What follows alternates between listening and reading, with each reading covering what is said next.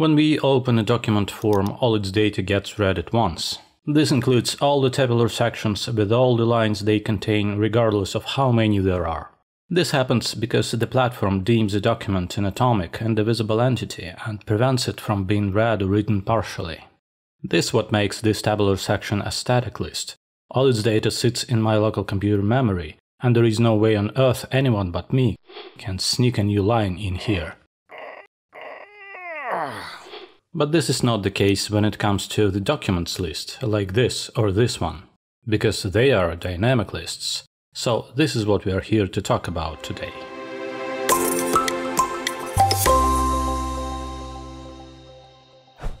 So what's so dynamic about this list here?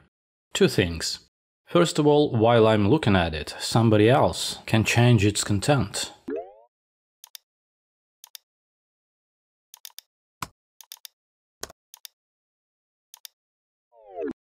So when I refresh the list, it isn't the same. Second of all, as the app works, new docs are created. And it's just a matter of time until there are hundreds and thousands of them. There is no way and no point actually to have them all in the memory. So the platform keeps there only what is visible to a user right now. While the rest of the data just sits in the database waiting for its turn. When a user scrolls the table, the dynamic list downloads new data from the database, and at the same time deletes from the memory the data that gets out of the screen. So the data is read on demand, in other words, dynamically. Okay, let's take a look at the dynamic list in Designer and see what we can do with it. Let's take a quick look at the sales documents list form, for example.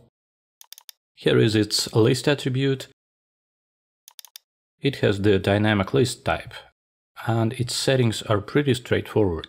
The most important setting is this main table guy, which we use to tell the dynamic list where to read the data from. We can select any table of any metadata object like this. Very simple, very effective, works perfectly as long as we don't need anything complex, like a reading of the data from several tables, or sorting list differently, etc. But the beauty of the dynamic list is that we can customize it to solve all of these problems and then some more.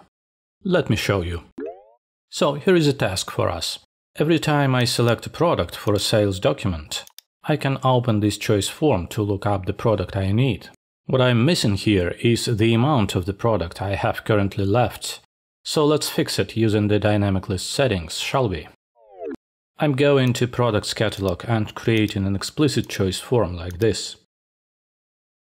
I don't need the code, but could use the UOM and brand fields.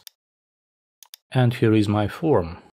This list attribute reads its data from the products catalog, which does not know the amount left, so there is no quantity left field or anything like this here. So this is what I do.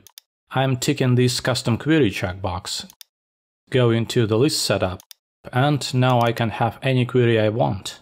So I'm running the query builder, adding the inventory balance table to the tables list, and adding quantity balance field to the fields list. This is where the amount left lives. Now I'm going to joins page to tell the query what condition it should use looking up the record in the inventory. But turns out the query builder already figured it out. It looked at all the fields and these two tables and found a pair of fields having the same type. So now the query will look for the inventory balance record belonging to each specific product in the list. The only thing I need to change here is these all flags. I need all the products, even those not in the inventory balance. And I don't need the inventory balance records not belonging to any of my products. And here is our query. Now I have a quantity balance attribute in the dynamic list, so I'm just dropping it to the form and that's it. Okay, let's see.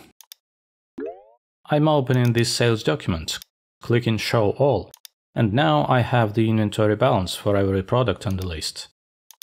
Great,